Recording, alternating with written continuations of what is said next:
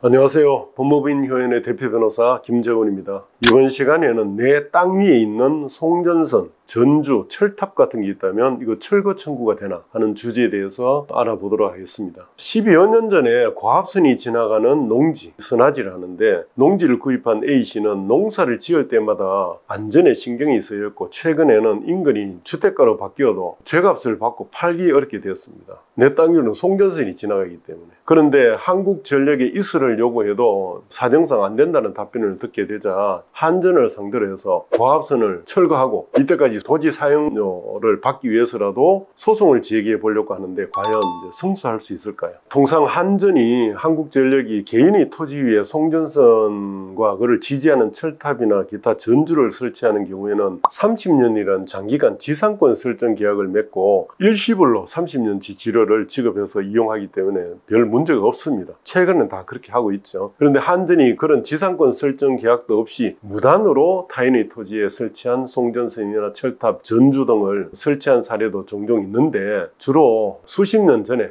그때 제대로 보상하지 않고 그런 설치한 것들 때문에 생기는 문제입니다. 자, 이처럼 무단으로 설치한 송전선 등은 철거 청구가 당연히 이제 가능할 것이지만 30년 지상권 설정 계약을 한 경우라도 30년 지났는데도 재계약하지 않고 계속 존속된다면 이거는 불법 점유가 되기 때문에 역시 철거 청구가 가능하고 처음 설치한 때부터 철거할 때까지 사용료, 그 임료 상당의 손해 배상액을 이제 배상해야 되겠죠. 문제는 송전선 선하지, 송전선이 이제 아래쪽, 네, 아래쪽에 위치한 토지죠. 송전선 선하지 소유자인 A 씨가 10여 년간 가만히 있다가 이제야 철거를 요구하는 것이 권리 남용 아니냐.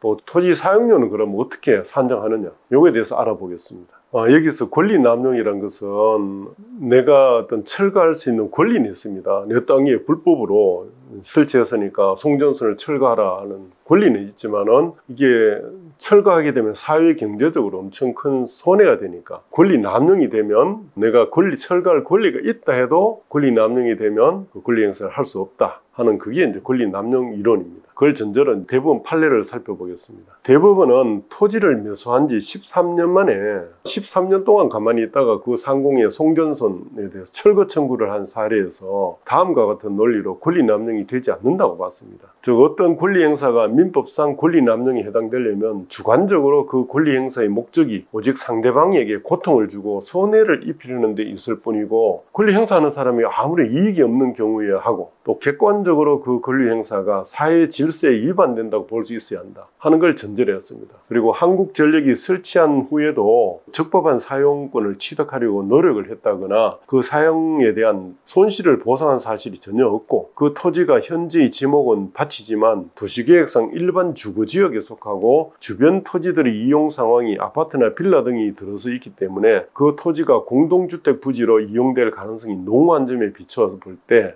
토지 소유자의 송전선 철거 청구는 권리남용에 해당되지 않는다 하는 이유로 한국전력이 상공의 공간 사용권을 적법하게 취득하지 아니했거나 그에 따른 손실을 보상하지 않아서 그 송전선 설치는 그 설치 당시부터 불법 점유였다고 볼 수 있다라고 결론 지었습니다. 그런데 이 대법원은 과거에는 송전선 철거에 대해서 권리 남용으로 봐서 철거할 수 없다고 한전의 손을 들어주었습니다. 그런데 1990년대에 들어서서 한전의 권리 남용 주장을 기각하고 철거를 주장하는 토지 소유자 이제 손을 들어주기 시작해서 오늘날까지 이제 계속 이어지고 있습니다. 대부분은 끝으로 토지 소유자가 송전선이 설치된 토지를 농지로만 이용했고 그 소유권을 행사함에 있어서 아무런 장애를 받지 않았다고 하는 한전의 주장에 대해서 그렇다 할 수 없다. 방해를 받았다고 장애가 있었다고 이렇게 판단하고 그 송전선의 가설로 인해서 그 토지 상공에 대한 구분 진상권 에 상응하는 임료 상당의 손해를 그 토지 소유가 입었다. 라고 봐가지고 토지 소유자에게 임료 상당의 손해를 배상하라 이렇게 판결을 했습니다.